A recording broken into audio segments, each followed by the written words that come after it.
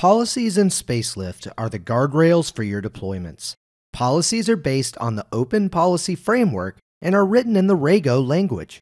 Policies can manage all aspects of your deployment workflow, including account login, stack access, run and task approval, trigger behavior, as well as analyze resources and make policy decisions during each stage of your deployments. Let's take a look. Here I am on the Policies page within Spacelift. If I click on Add Policy, you can see we have a lot of boilerplate here to get you started, and then you can choose your type. As mentioned, we have several types of policies that you can use, and we're going to take a look at a few of them. So let's head back to our policy list. As you can see, we have a task and run approval policy, which requires approvals on certain types of tasks and deployment runs. And then we have a policy here that ensures that any deployed EC2 instance is only a T2 micro and nothing larger. Let's take a look at these. So as you can see, I'm within a stack here. This stack will deploy an AWS EC2 instance and some network dependencies. I'm going to click on trigger to run this stack. All right, so let's take a look. First up, the approval policy was analyzed in the first phase of our deployment.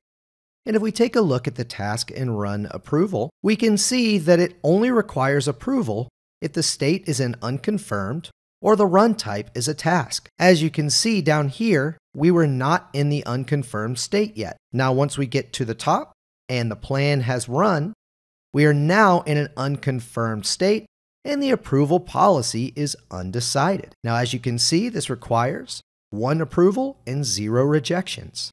So what we can do is we can click on review, add our comment just like so, and approve it. And of course, if we were to reject, it would fail the run. So since that is now approved, everything is going to run and deploy properly as soon as we click on confirm. Now the other policy, which is the instance size policy, checks our Terraform code or whichever code you're using for your deployment and ensures that our instance is a t2.micro. So it denies if the instance is not a t2.micro. Now what we can do is we can use this policy workbench here to test that code. So if I change this to t2.large and click on simulate, we can see that this would have been denied. Resource, and it provides the resource address, is the improper type. If I change that back to micro and click on simulate, we get an empty set of brackets here, indicating that everything is good to go. As you can see, the plan policy was allowed. So everything is good. It passes our policies. So we can click confirm and deploy. Now, if we wish to destroy our resources, we can use a stack task. If I head to tasks, as you can see here, we have a task and run policy. And if the run type is a task and the command is not ls, it's going to require an approval. So if I were to perform an ls task, I click perform again right there, which will run ls within the container that launches our Terraform executable. You can see that the approval policy is immediately approved without a problem because ls is within the approval list.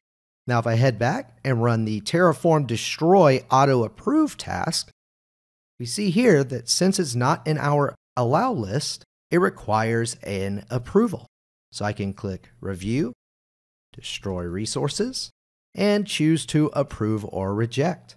All right, so as you can see, Spacelift policies are incredibly powerful and can help you maintain the guardrails that your compliance requirements expect.